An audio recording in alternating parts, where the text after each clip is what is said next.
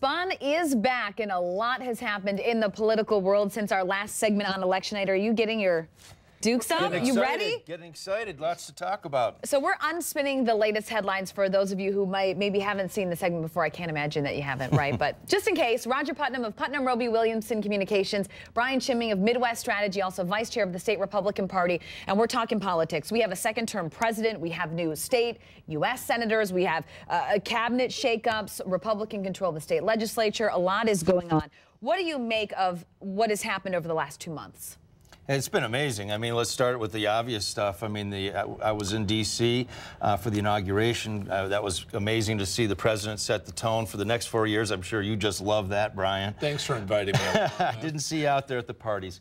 Uh, you know, and uh, got a chance to see firsthand uh, what a rock star uh, Tammy Baldwin is uh, in the Senate. Um, and by all accounts, Republicans and Democrats, uh, leaving aside some obviously policy issues. But it was really an amazing and special time. And I think there's a lot of fascinating stuff going on with immigration, gun control. I mean, there's a lot going on out there.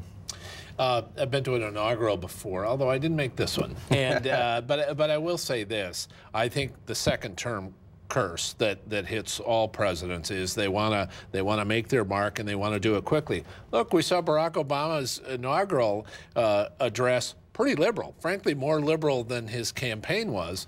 And uh, for all the folks who uh, think that he got a mandate, he, he, ended up winning the election by about two and a half points. So we'll see where he can extend that. He got less votes, less percentage, less in the aggregate of any reelected president since Andrew Jackson. Uh, we'll see how much he can push that out there. And do you see any challenges for Republicans? Oh, I think so. You know, the, the truth of the matter is they're going to be focused on the debt deal, uh, of course, here in, in, the next couple of months. But the House stayed in Republican control, even with the president's win. And you know what? The president, uh, especially on the Second Amendment issues, can't get the Democrats in the U.S. Senate to come with him. Uh, he's not as popular with any of the Senate Democrats as he is with himself. Well, you know, it's interesting. That's all very, very interesting, except for the fact that now we've got Republicans talking about immigration uh, reform. We've got uh, Republicans coming along on gun control. So, I mean, all due respect to Brian and, and saying that there's challenges that the president faces, I think Republicans have actually a bigger challenge by trying to uh, come along with the, the rest of the electorate. I want to hit on state really quickly. We're running out of time. What do you anticipate? We have a budget address coming up soon from the governor. Right. Uh, middle class income tax cut.